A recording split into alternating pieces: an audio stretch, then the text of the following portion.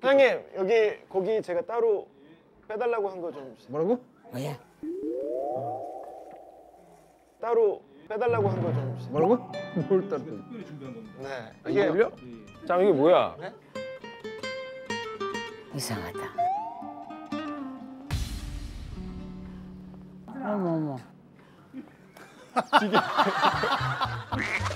아이고 비, 어우, 전부 비계 비계가 너무 많아. 근데 저거는 수준이 거의 불판 처음에 이렇게 기름칠 그렇죠, 그렇죠. 그거예요. 거의 그 수준인데요? 뭐야 이거 왜 다 비계냐? 형 너무 요즘에 기름기 없는 것 같아서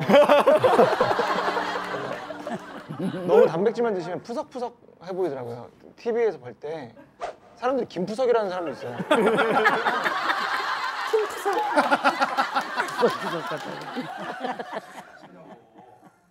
제가 따로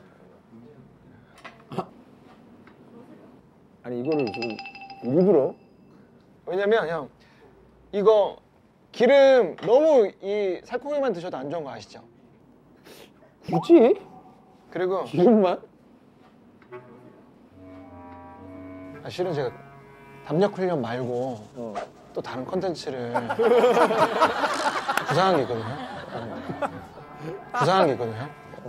뭐냐면은 요새 회사 계약이 끝나가서 불안해요. 저 이제 유튜브 해야 되거든요.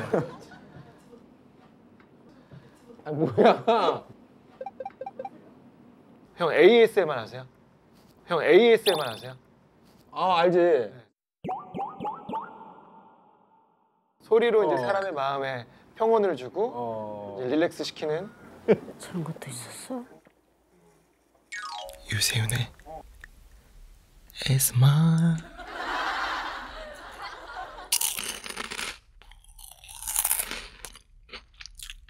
10원짜리입니다.